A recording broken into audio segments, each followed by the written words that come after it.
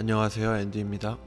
어, 다음 주에 여기에서 촬영이 있어가지고 답사 겸 촬영하러 나와봤습니다. 어, LA 날씨가 지금 많이 더워져가지고 일교차가 있지만 어, 가장 더울 때는 30도 정도까지 올라갑니다. 어, 7월달, 8월달이 되니까 정말 그 촬영 예약이 현저히 줄어들더라고요. 근데 이게 정말 7월 돼가지고 촬영을 나와 보니까 왜 그런지 알 것 같아요. 날씨가 한국만큼 덥진 않지만 정말로 덥습니다. 어, 촬영하기 촬영에 집중하기 힘들 정도로 더워요. 바닷가에 가면은 괜찮은데 바닷바람이 부니까 또 그늘도 있고 근데 이렇게 좀 사막같이 햇빛을 직광으로 받, 받는 곳들은 더워가지고 촬영하기가 힘들어요 진짜 LA 오기 전에 저는 하와이에서 너무 돌아다녀가지고 좀 안 돌아다니면서 촬영해야지라고 해서 스튜디오를 계약했었던 거였거든요 근데 와가지고 이제 돌아다니니까 이쁜 곳이 굉장히 많은 것 같아요. 그래서 요즘에는 스튜디오 촬영보다는 야외 촬영을 조금 선호하고 있습니다.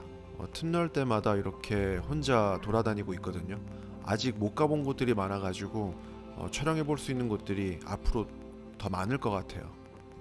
어, 제가 이제 차가 없고 오토바이를 타고 다녀야 되니까 그 오토바이 양 옆에 그 큰 짐을 실을 수 있는 그 트렁크 같은 게 있어요. 어, 그거 오늘 주문했거든요. 어, 다음 주 정도에 오니까 오면은 바로 캠핑 떠나 보도록 하겠습니다. 어, 제가 요즘에 노력하고 있는 게 하나 있는데 그냥 정말 혼자가 되는 연습을 하고 있어요.